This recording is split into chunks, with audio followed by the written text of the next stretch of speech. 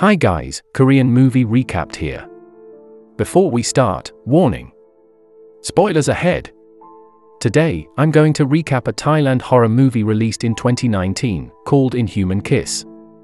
This movie tells the story of a teenage girl who often sees her bed covered in blood. It turns out that the woman is a spooky ghost that often haunts her village. Luckily, there was a boy who was always by her side to help her. So, what will happen to her next? Let's find out. The story begins by showing four children playing hide and seek near an old house containing a chest. Sai and one of her friends accidentally enter the old house to hide. Inside the house, Sai saw a chest and behind her appeared Krasue. Krasue is a ghost in the form of a human head with the contents of the body attached without skin and can fly. Krasue is one of the scariest ghosts in Thailand. The scene shifts, where those who used to be children are now adults. Every day Sai always cleans the blood that always appears on her bed. Sai works as a nurse at a clinic in her village. Jerd, who is her childhood friend, now loves Sai very much. But not the other way around, Sai only thinks of Jerd as a friend. Jerd always acts silly to get Sai's attention. Suddenly a pediatric patient came with a wound in the leg. The mother recounted that last night she saw Krasue and ate her neighbor's chicken. The mother told them to close the doors and windows tightly. The next morning, she saw that there were bloodstains in her bed again. Not only that, she also noticed that her chest was starting to turn red. As usual, Jerd always came and brought pandan water for Sai. After a while, Sai asked Jerd to accompany him to the forest at night. In the evening, they finally went to the forest. Soon, they saw a ray of light that turned out to be their old friend, Noi, who had just returned from Bangkok. Sai who saw Noi was very happy when they met and they immediately hugged. Jerd who saw it immediately felt very jealous. Noi is not alone, he brings a group of Krasue hunters led by someone named Tad. The group sensed there was Krasue in this area. So that's what brought them here to catch it. If it wasn't caught soon, it would be a disaster. Disaster will come if Krasue vomits water and there is a girl who drinks the water, then the girl will turn into Krasue. It is different if a man drinks it, then the man will be tortured to death. On the other hand, Sai wanted to hurry home. Because she felt something strange in her body. Jerd felt a little suspicious of Sai's hasty behavior. The next day, again Sai saw her bed covered in blood. Not only that, she also vomited blood and red spots appeared on his chest. In the afternoon, people saw a dead buffalo. But Noi said that the buffalo died because of wild animals. Then Noi took Sai to meet Jerd. Arriving there, it turns out that Jerd is practicing shooting with the Krasue hunters. Noi asks Jerd to leave as he is worried about him. But Jerd insisted on his stance because he believed that Krasue had appeared in his village and wanted to protect their village. One night, Jerd told Sai to close the doors and windows tightly, so Krasue couldn't enter. Jerd is with hunters around the village to hunt down Krasue. On the other hand, Sai starts screaming in pain and it turns out that Sai has become Krasue. But how? Let's watch till the end. Elsewhere, a mother sees her baby not in bed and immediately wakes her husband. Immediately, they ask the Krasue hunting group for help, it turned out that their baby was brought by Krasue who was none other than Sai herself. Suddenly, the Krasue disappeared in an instant. Then, one of them appeared and brought the baby back. On the other hand, Noi who was in the rice field saw Krasue heading towards Sai's house. In a hurry, Noi went up the stairs to check on Sai's condition. Noi was very surprised when he saw that Sai turned out to be Krasue. When Sai had returned to being human, she saw Noi peeking out of the window. Noi fell down the stairs because he didn't think Sai was Krasue who always ate farm produce in the village. The next day, Sai returned to the clinic, but she did not find Noi. Maybe Noi left because of the shock of yesterday's incident.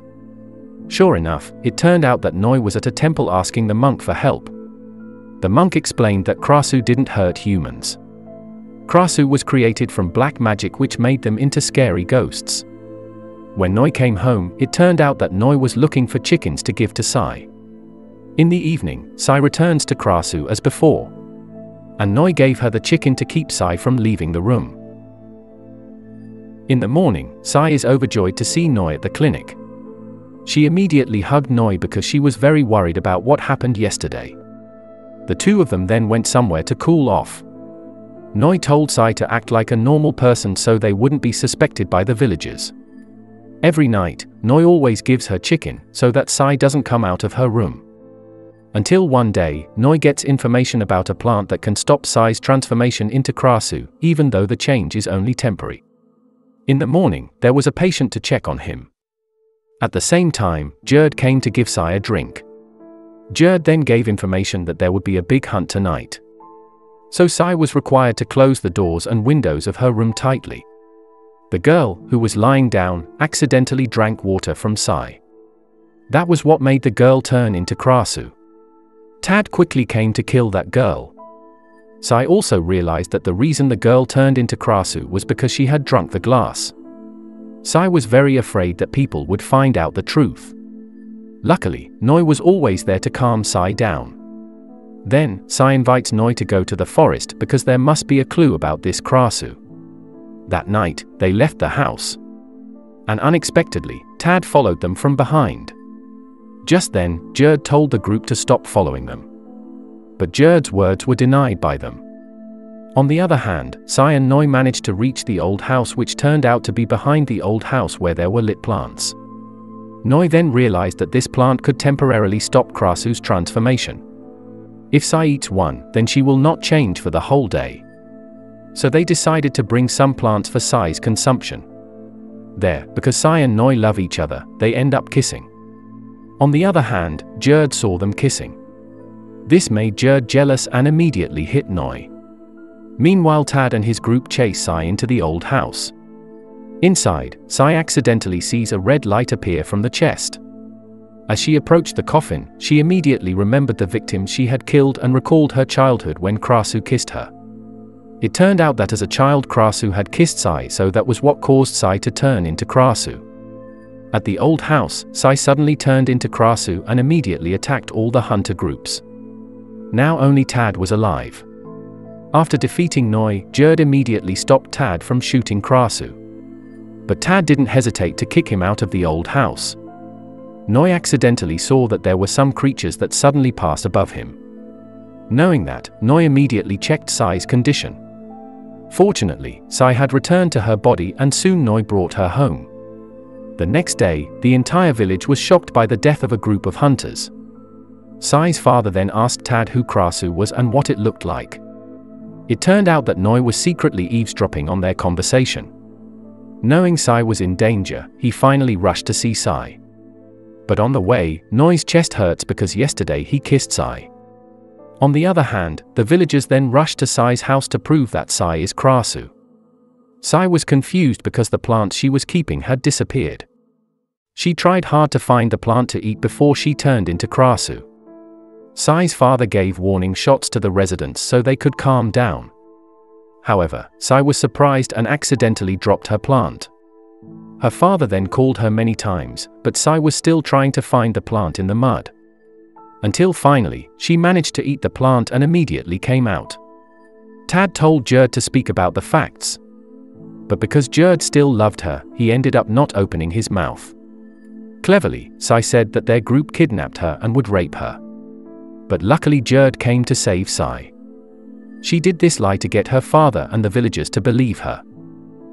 After that, Jerd wanted to sleep in his room. But Tad was very disappointed that Jerd betrayed him. Shortly after that, Tad attacked him which made Jerd turn to something.